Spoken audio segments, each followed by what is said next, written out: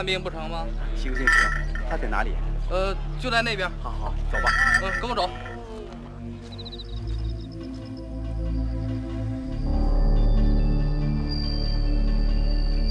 喂喂。你说有人看病不带我去病人家里带我来码头干什么？那人让我把你带到这里就可以了我该走了。喂喂。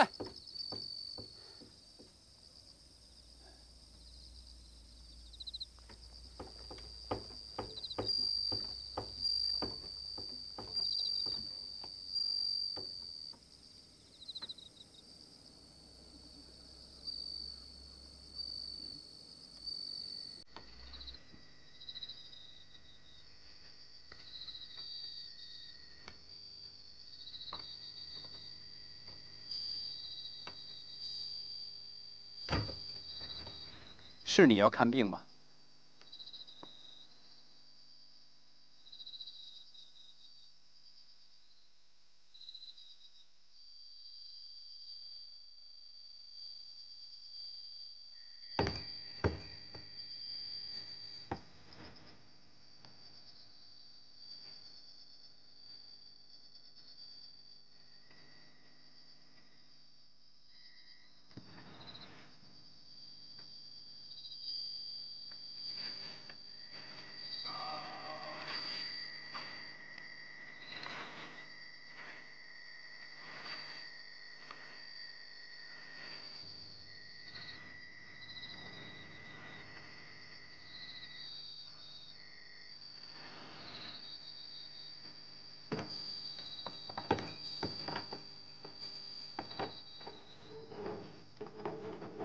病人在哪里？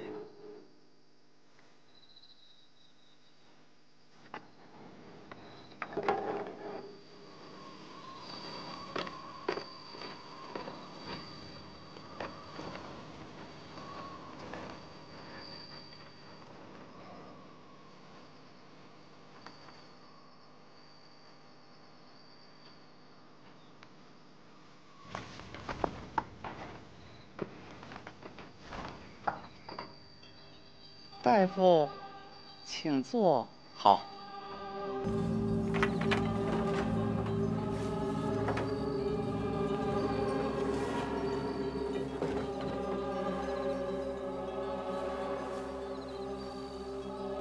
请问你有什么病？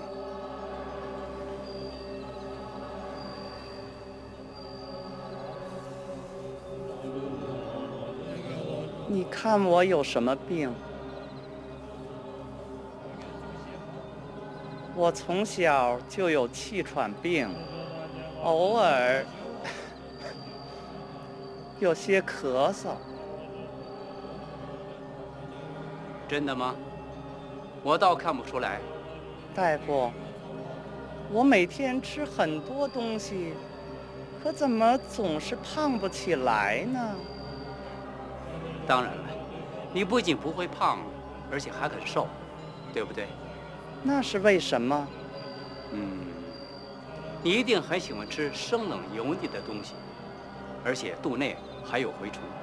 你说的不错，那你能治吗？你有气喘又有蛔虫，为什么不去买酒神丹？酒神丹我吃了不舒服，拉肚子。你还有别的药吗？有。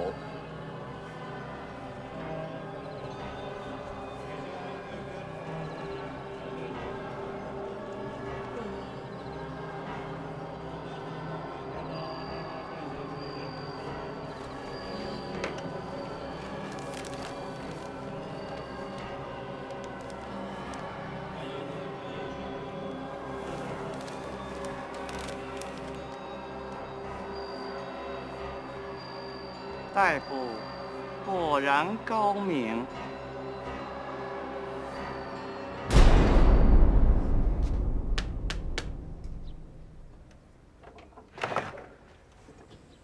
四爷，你哥回来了吗？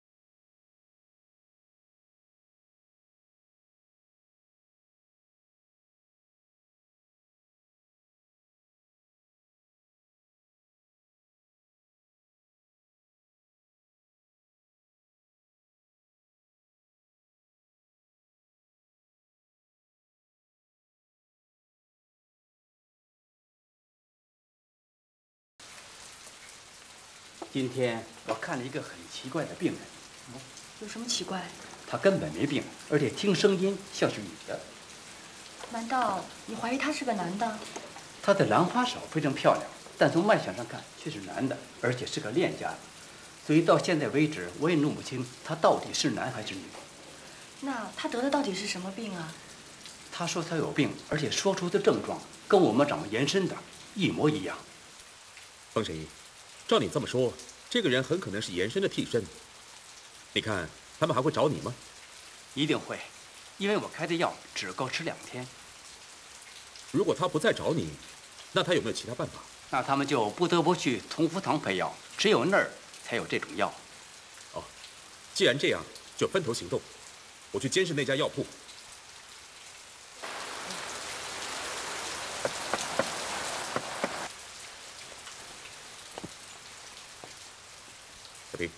你去看看。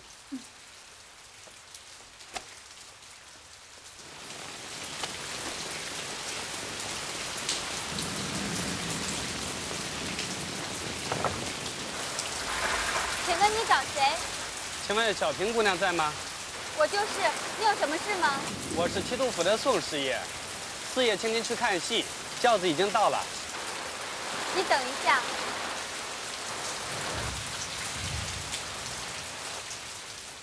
哥是找我的，我先出去一下。自己小心点。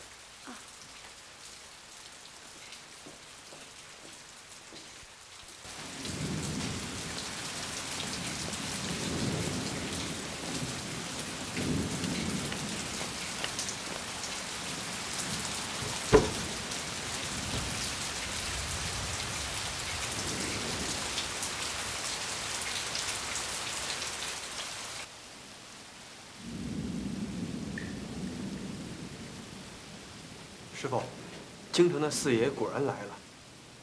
没事儿，我们照演。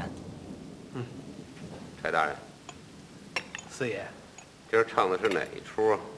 回四爷，今儿唱的是《木河寨》，不知四爷您喜欢吗？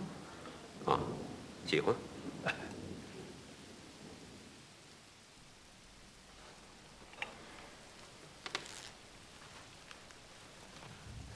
小平姑娘，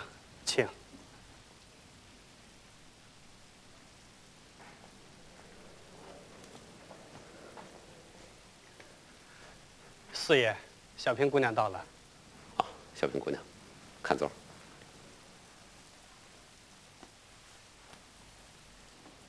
今儿个我们听的是《木柯寨》。我说，开始吧。是四爷。开始吧。开始。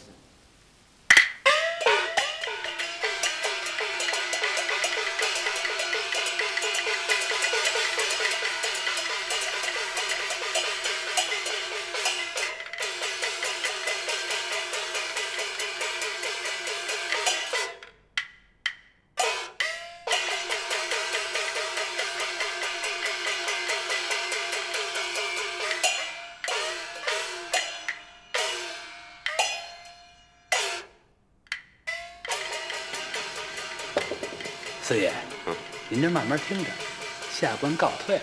走，回见。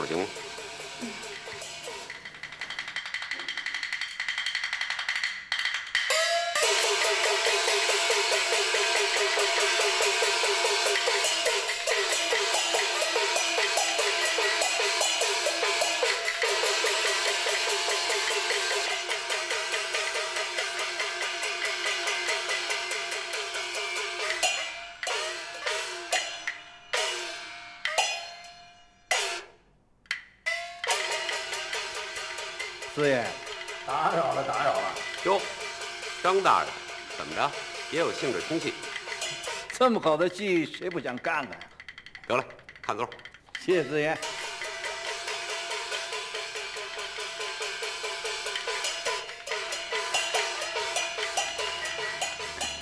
四爷，哎，您看这戏还真火啊！还成。这旦角儿。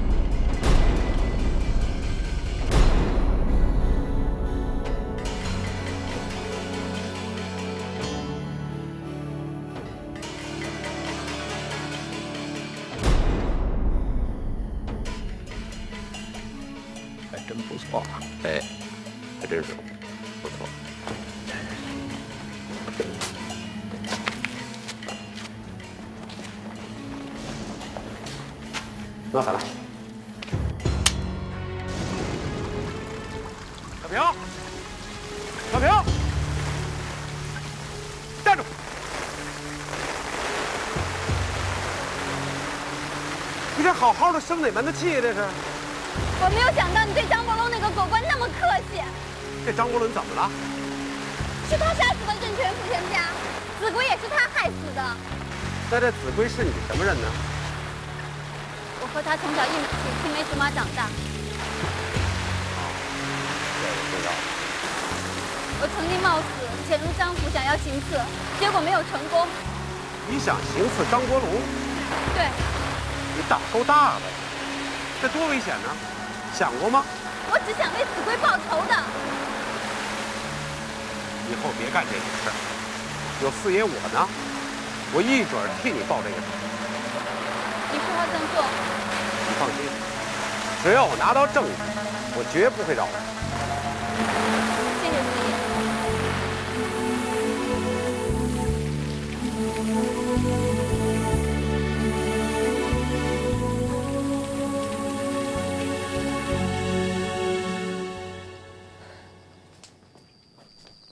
你是不是在想谁把小平接走了？我想是四爷，那你就不用太担心了。想不到四爷会请小平去看戏。四爷表面上看挺冷漠，实际上挺有人情味儿的。小平为了子规的事，真的很伤心。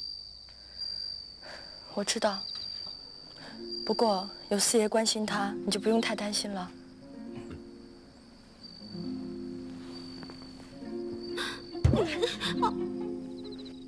谁啊？是我。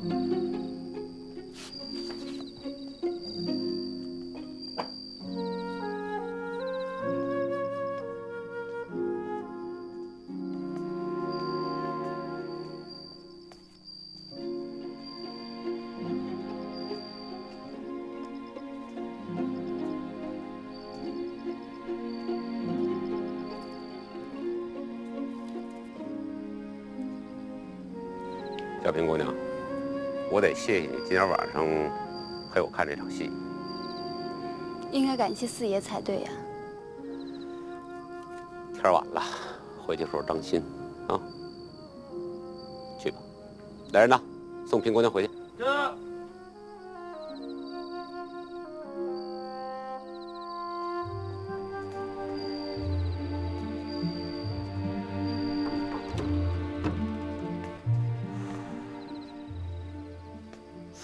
您回来了，奴才给你请安了。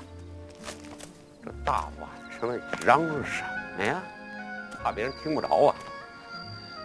您出去这么久，奴才也是担心。我在这里等了好几个时辰了，戏班也应该没这么晚吧？大胆，管起主子的事儿来了。奴才不敢。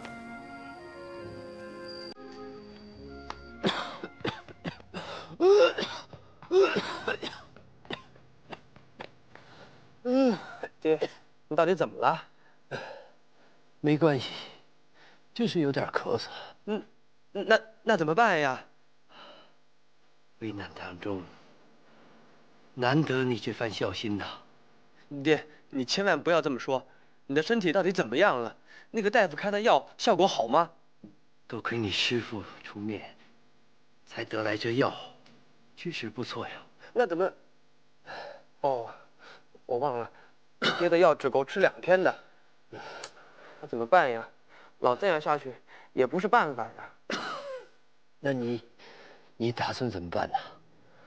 除非再把那个大夫请来，不然的话，那你就亲自去药房去配药。好，那我明天就去。不过，这样很危险呐。爹，你放心，我自有办法。孩子，那你可要小心呐。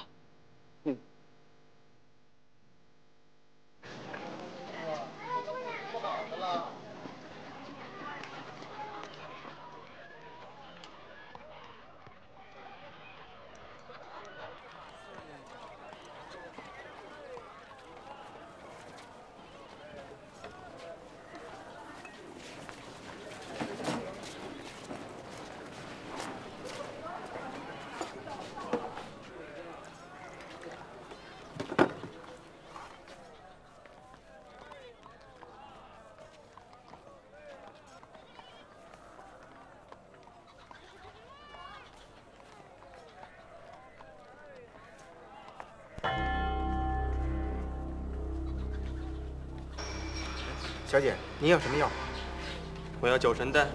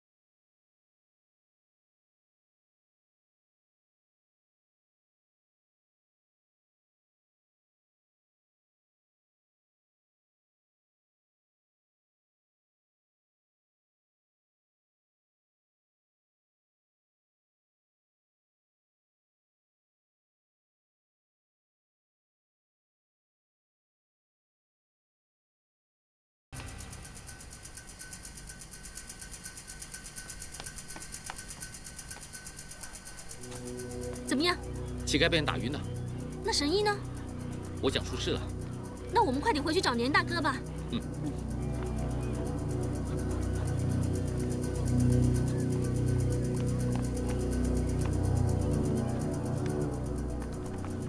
年大哥，风神医不见了。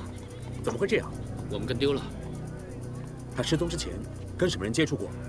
他跟一个乞丐说过话，之后我们看他进了一个巷子里，我们马上就跟进去。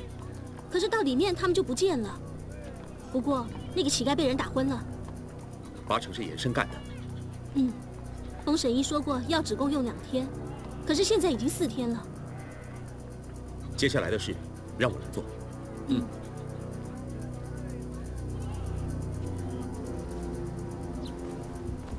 奴才托福叩见八爷。起来吧。谢八爷。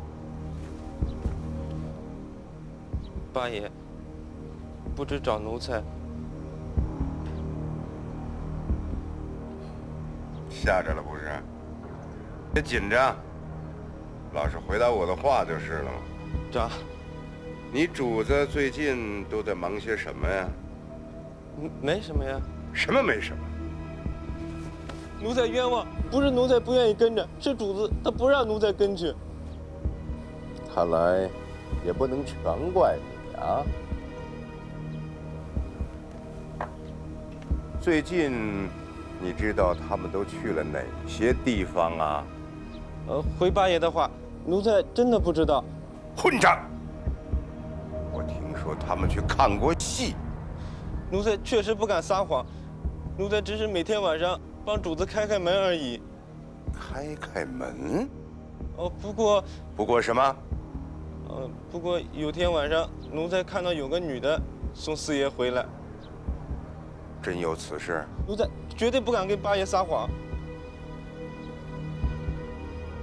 好，你先下去吧。这。四哥呀，四哥。看你染上一身风流病，回去怎么向皇阿玛交代？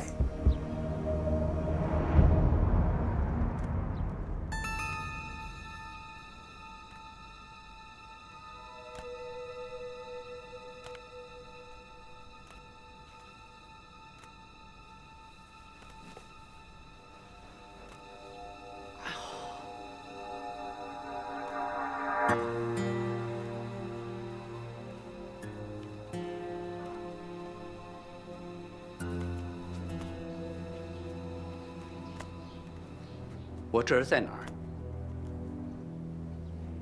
聪明的你就别问。如果我没有猜错，你们就是金陵钱庄的两父子。果然是个聪明的大夫。阁下的这只手，我曾经把过脉。你说的不错，他才是真正的病人。他吃药以后的反应如何？如果不是有效。还找你来干嘛？吃了药很舒服，可是气喘又犯了，病又回来了。本来你们是养尊处优惯了，现在躺在这么个地方，还习惯吗？我劝你最好识相一点。你若是胆敢泄露我们的秘密，我就先宰了你。其实死并不可怕，死人也有被救活的时候。不过像你们这样干耗着。比死人好得了多少？好坏是我们，不关你的事儿。呃，如果你们相信我，说不定还能救你们。少废话，我们谁都不相信。既然你们不相信我，那还找我来干什么？你只要把他的病治好就行了。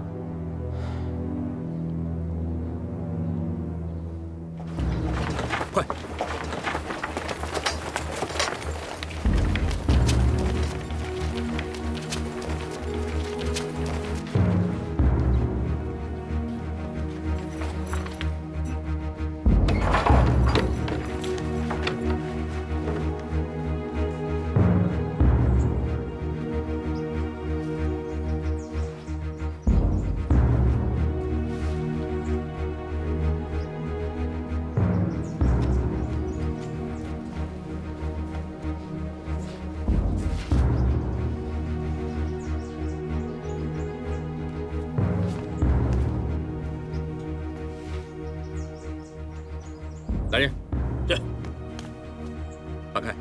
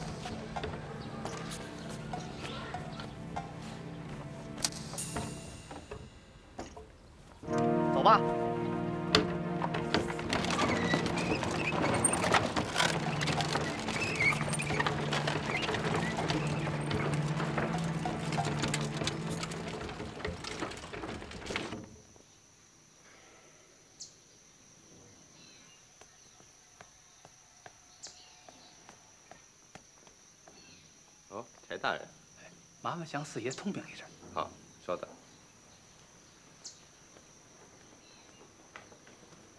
四爷，提督大人到了，让他进来。这，柴大人，请。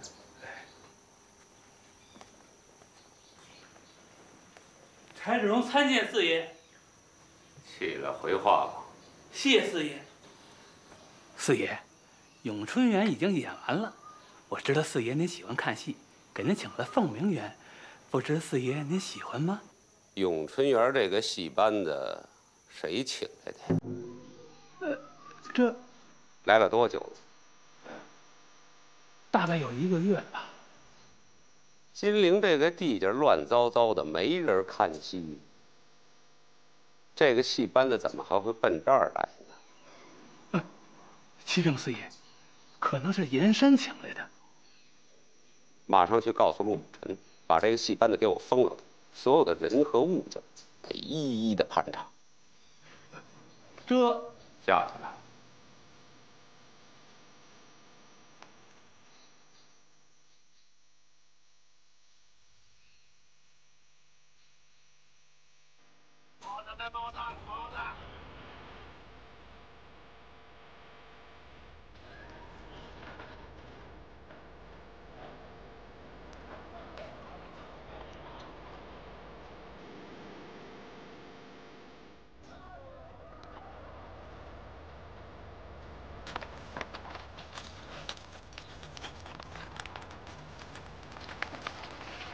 严大人，现在怎么办？追！上！驾！驾！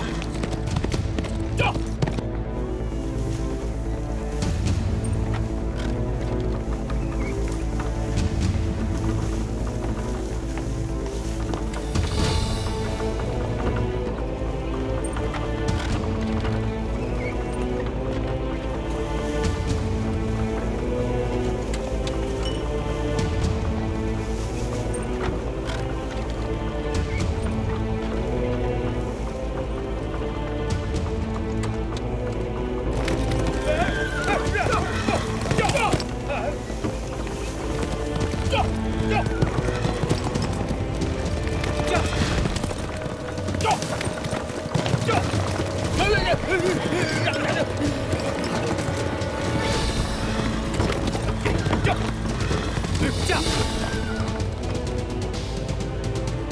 你是干什么的？启禀大人，我们是戏班的，要离开金陵。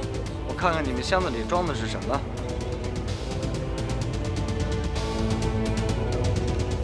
我是奉命行事，要把你们带回去问话。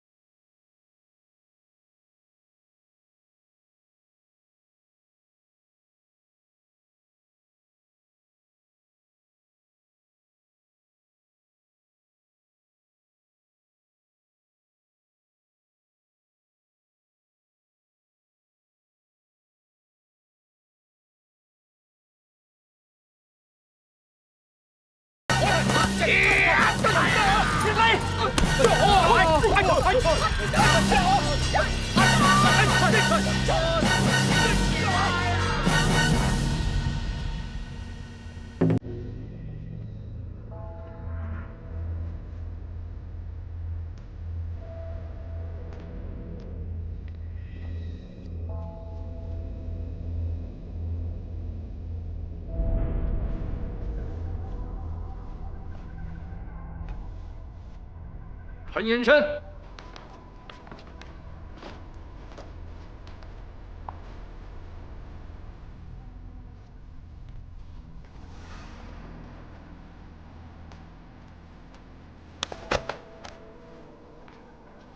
四哥，你请。大胆延伸，你可知罪？草民延伸知罪。金陵田庄是怎么回事？你如实招来。你儿子和他的同伙跑到哪儿去了？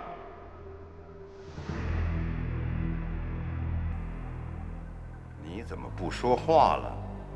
现在是人赃俱获，要想人不知，除非己莫为。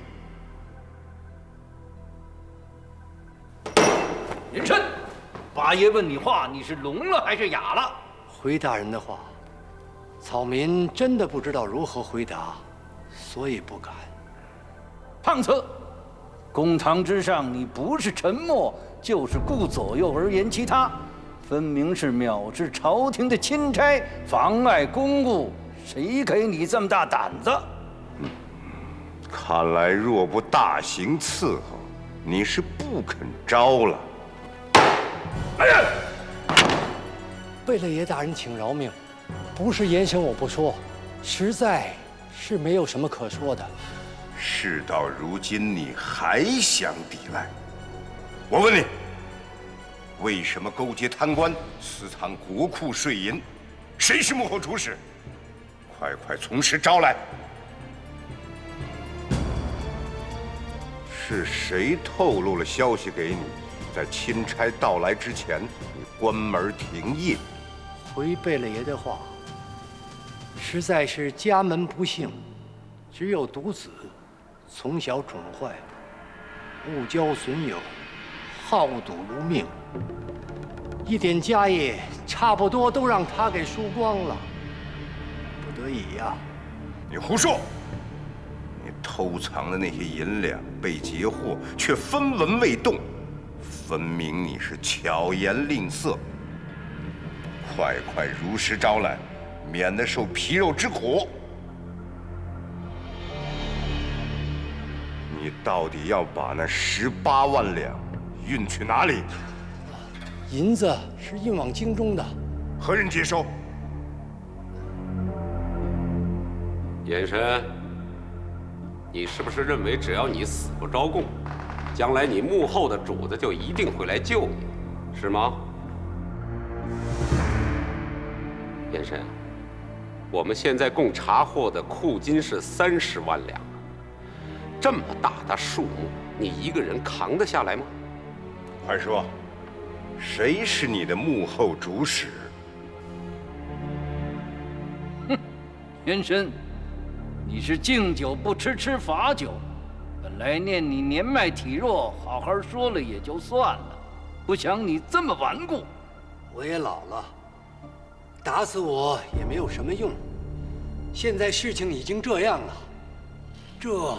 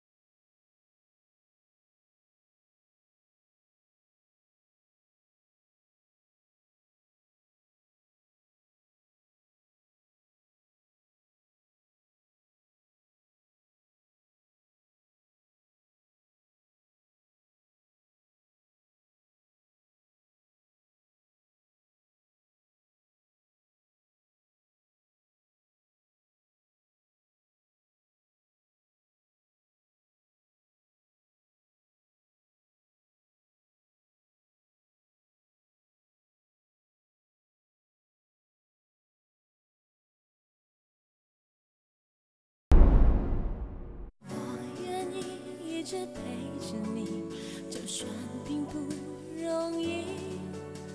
想着你无忧无虑，海角天涯也会相遇。不愿意我们的距离一点一点开始，等着你身不由己，